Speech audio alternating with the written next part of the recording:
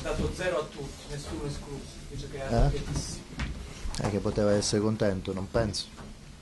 Quindi ognuno la pensa a modo suo. Oggi Perugia è venuto, non ha rubato nulla, ci ha messo in grosse difficoltà dal primo all'ultimo minuto. Lascia stare che abbiamo fatto anche due gol, abbiamo fatto due gol perché hanno mollato loro.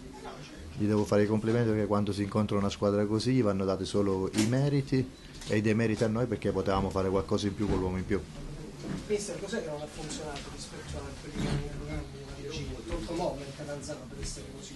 Non è funzionato noi che non c'eravamo e abbiamo avuto di fronte una squadra forte, importante, dove ci ha messo in difficoltà, come, come ho detto, l'avevo già annunciato venerdì che era una squadra importante, una squadra che se si concedeva spazi ci facevano male.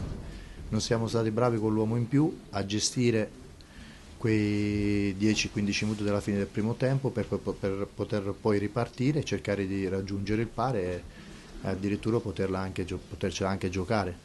Purtroppo abbiamo preso su secondo gol su un errore individuale che ci può anche stare in una partita e nella ripresa siamo stati dei polli perché abbiamo preso subito il terzo gol dove ci ha, ci ha tagliato le gambe.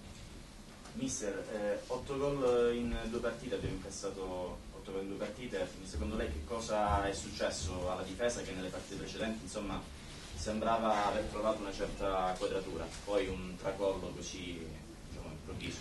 È un'annata, è un'annata così, che purtroppo come va va prendiamo gol Dobbiamo cercare solo di lavorare e migliorare perché in questa maniera, non, in questa maniera è difficile anche raggiungere la salvezza.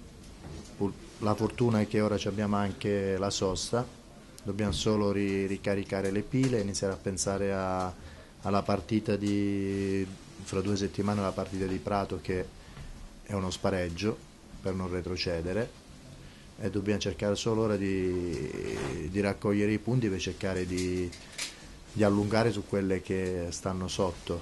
Eh, come ho già detto, il campionato è difficile, dobbiamo cercare di raggiungere questa salvezza.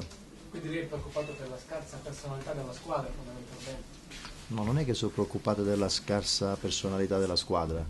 Purtroppo quando una squadra si cambia tanto in corsa, c'è il momento dove vanno bene e poi c'è il momento dove si va meno bene.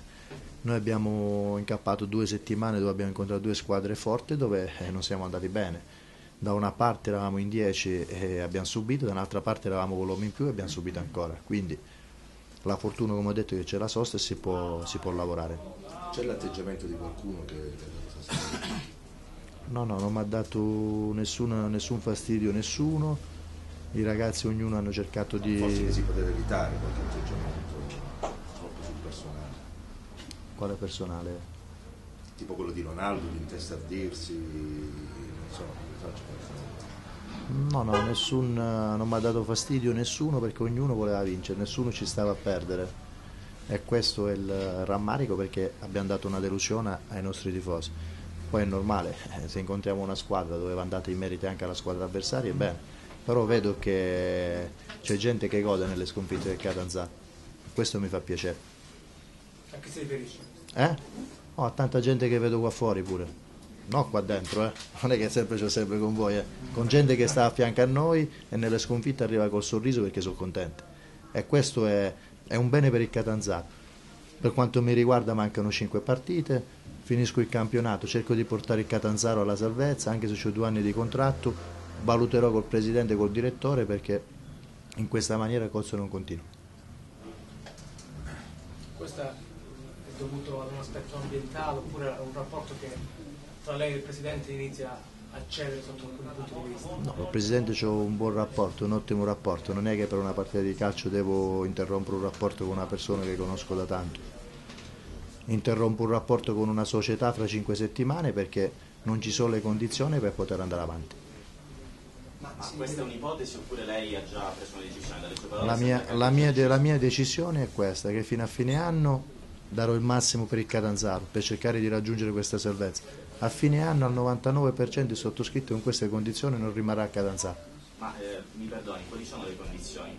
Le condizioni sanno tutte, perché qua non si può lavorare su 30 metri di, di, campo, poi la gente ci viene a fischiare perché sul campo non facciamo quello che dobbiamo fare.